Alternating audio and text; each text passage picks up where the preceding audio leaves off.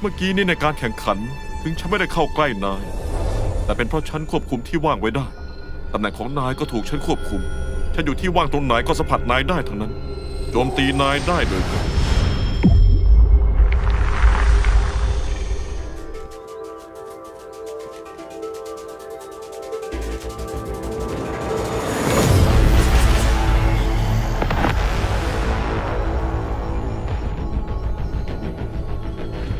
ที่คิดไว้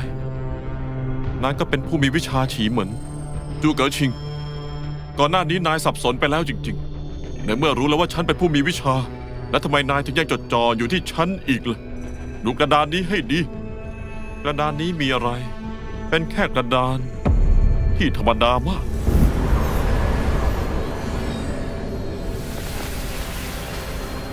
เข้าใจหรือยัง ทิศทางการยืนแสวงหาดีร้าย ไม่เหมือนผู้มีวิชาคนอื่นอยู่บนกระดานฉีเหมือนนี้ ฉันก็คือทิศทาง ฉันก็คือดีร้าย เวลาที่ว่างการเสริมข่มของสี่แผ่นฉันเป็นคนกำหนด เมื่อกี้นี่ในการแข่งขันถึงฉันไม่ได้เข้าใกล้นาย แต่เป็นเพราะฉันควบคุมที่ว่างไว้ได้ตำแหน่งของนายก็ถูกฉันควบคุม ฉันอยู่ที่ว่างตรงไหนก็สัมผัสนายได้ทั้งนั้น โจมตีนายได้โดยตรง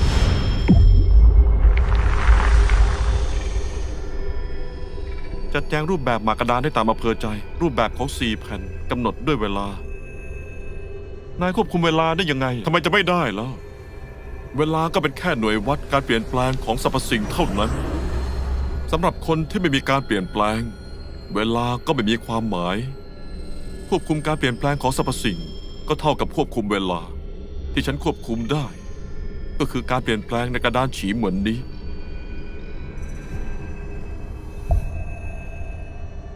เริ่มจากตอนนี้ แรงดึงดูดในนี้แตกต่างจากข้างนอก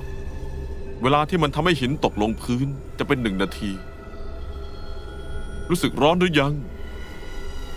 ทิศทางลมก็มีการเปลี่ยนแปลงเล็กน้อย เพราะตอนนี้แม้ว่าจะเป็นหน้าฝน แต่อุณหภูมิและความชื้นในกระดานนี้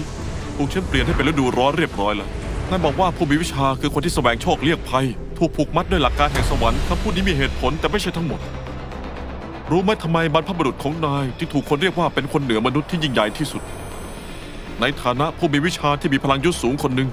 เขาจะไม่รู้ถึงความเสื่อมถอยของราชวงศ์เขาจะไม่รู้ถึงหลักการแห่งการเปลี่ยนแปลงในใต้ล่าอย่างนั้นเลยหากแสวงโชคเรียกภัยจริง ๆ ก็ควรจะอยู่เฉยๆที่บ้านเกิดด้วยพลังยุทธของเขาหากคิดจะพัฒนาไปอีกก้าวให้ได้ก็ไม่ใช่เรื่องยากอะไร แต่ว่าเขากลับยอมแพ้ในฐานะผู้ฝึกยุทธคนหนึ่ง ถึงแม้ต้องทรยศพลังอำนาจ ก็ต้องเอาตัวเข้าไปในโลกอันวุ่นวาย พียงเพื่อช่วยเหลือใต้ล่านั่นที่รู้ดีว่าไม่อาจช่วยได้ เพื่อใต้ล่านั่นยอมเป็นปฏิปักษ์กับหลักการแห่งสวรรค์และพลังอำนาจ รู้ว่าไม่ควรทำก็ท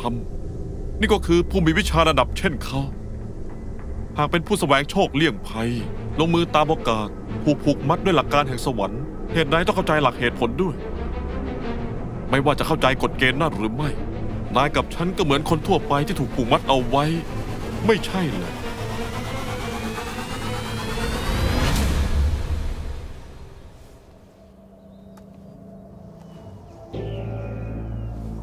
คนเหนือมนุษย์คนอื่น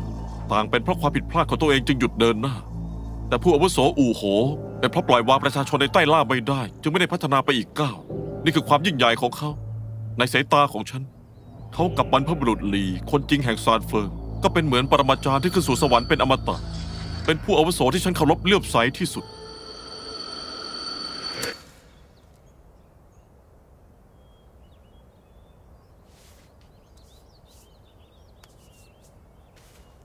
ฉันแพ้แล้ว แพ้อย่างราบคาบ นักพรตหวัง ฉันยอมแพ้